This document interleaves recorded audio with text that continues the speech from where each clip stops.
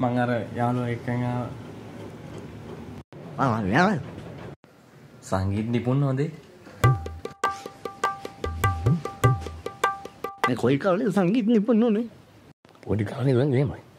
සර්ට කියන්න සර්. මම මේ ළමයා දන්නේ අවුරුදු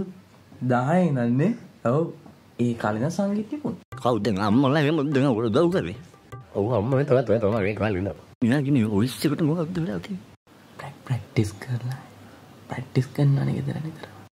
සින්දුව කියන්න බලන්න නේද අනේ සින්දුව නම් කියන්නේ නෑ මම ආ මේ තබ්ලා එන්නේ තියෙන්නේ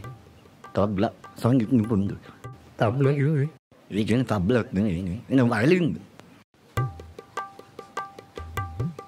ඔය මොකද මේ ජොබ් එක මොකද පුතේ මම වැල්ලි වැඩ කරන්නේ ජොබ් එක අවුල නෑ ඒක සංගීත නිපුණනේ මොනවා කරලා